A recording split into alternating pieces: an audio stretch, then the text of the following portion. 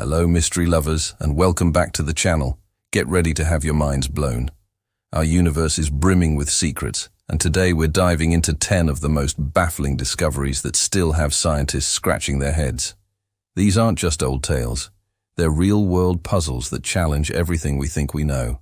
So, buckle up as we journey into the unknown. Let's start with the Voynich manuscript, a book from the 15th century written in a language no one can decipher. It's filled with bizarre illustrations of unknown plants and strange diagrams.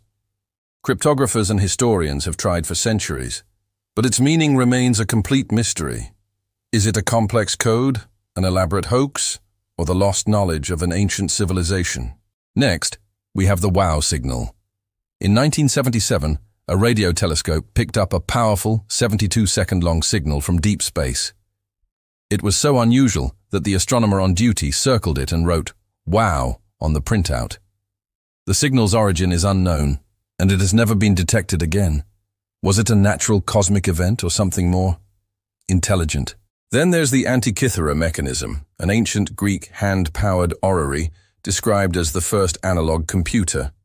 Discovered in a shipwreck, this incredibly complex device, with its intricate gears and dials, was used to predict astronomical positions and eclipses.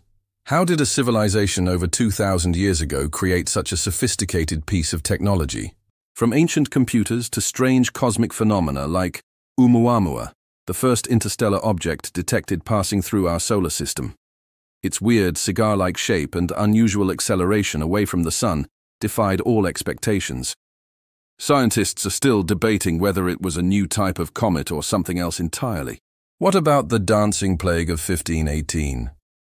In Strasbourg, hundreds of people began dancing uncontrollably for days, with some reportedly dying from exhaustion.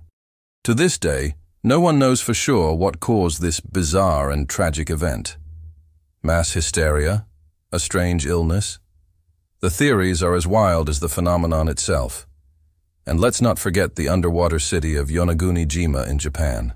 Divers discovered massive, terraced stone structures that look astonishingly man-made.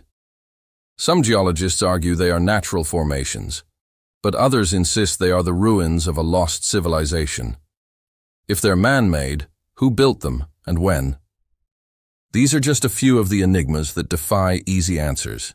From the great attractor pulling our galaxy towards an unknown point in space, to the eerie silence of the Fermi paradox, our world is full of questions waiting to be answered.